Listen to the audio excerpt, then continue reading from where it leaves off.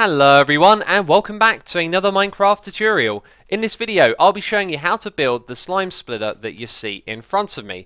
Now this idea comes from a long time ago. A friend of mine called Red Ice said hey I've got an idea why don't we make a contraption that can automatically take the largest size slime and automatically turn it into the smallest size. As you can see the smaller ones are coming out the end here. Well, he came up with a design, I came up with one. I recently built it on Hermitcraft in my Hermitcraft series after I built a slime farm, and that got me thinking about revising it. So this slime splitter is basically a revision of what was once called the slime reducer, so I've given it a bit of a name change as well. Now that old design that I have was mostly lossless, it did occasionally kill a few slimes, and I will say that this one is technically 100% lossless. I'll get to why it's technically 100% lossless in a moment.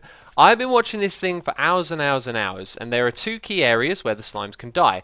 The middle size and the smallest could get hit on this lava blade here, and I've never seen that happen. When the big ones die in the lava blade, the small ones always form just a little bit lower down and don't seem to ever hit that lava blade. Then when it comes to this one over here, it's the smallest ones that could hit it, and again, I've never seen a single one hit this blade. What you do, do see though is that when these slimes die, um, the smaller ones always seem to drop down lower than where the slime died. So that's a good reason as to why um, they don't get killed by the lava blade. Now I said technically 100% lossless. What I have seen is a small slime drop down into this water here and die as we've got this little bit of a gap just to let those go through there, which helps when this thing is getting congested. And technically that shouldn't happen because they're landing in water, but I saw it when I was uh, recording my original recording for this tutorial and I decided to stop because it threw me off my tracks a little bit.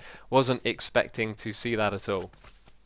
Now, if you're wondering why the water is just holding itself up in the world, it's because this side bit here is made out of barrier blocks. Of course, if you want to build this yourself, you would just use glass or stone blocks or whatever it is you want to use. This just makes it a lot more visible to see what's going on. So we have our first water stream pushing all of the slimes into this space. The smallest ones will drop down below. The middle sized ones will go on through underneath this half slab and the biggest ones will get killed at that lava right there. Um, then the medium ones coming through here will get killed at that point. If any small ones manage to make it across, they generally just drop down through this water, and then we're left with all the smallest ones all the way down here at the bottom. And what you do with them after that point is up to you. Now when it comes to a tutorial, which is what this video is, there really isn't any point for me doing anything other than staring at it side on. In fact, what I'll do is I'll turn off the slime spawning just to make it a little bit easier for us to see. There are two rows of lava and they are all lava sources. You can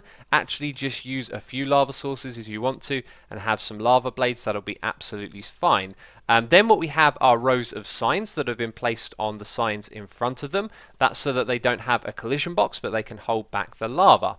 So after that, we have this drop of two blocks going down to another set of water sources that push across by four blocks.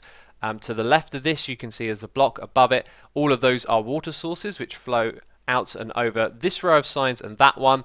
We have lava. Again you can use the lava blades. And very important here we also have a slab before it. And that's kind of everything you need to know. So if you want to build this for yourself pause the video take a screenshot of that and that's really all you need to build this thing.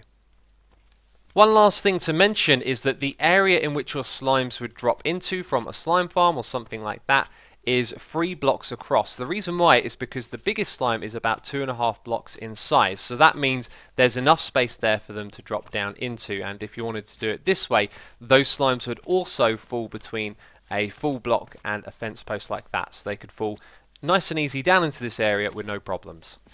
So that's going to be it from me, this Minecraft tutorial. If you have enjoyed it, please do leave a like. As always, thank you ever so much for your support. Check out the tutorials playlist for more contraptions and useful things in survival Minecraft. And there'll also be a download available in the description box below for you to get if you want to go into this world and, and fly around and have a look at it. But yes, that's it from me. Thank you for watching, and I'll catch you next time. Bye-bye.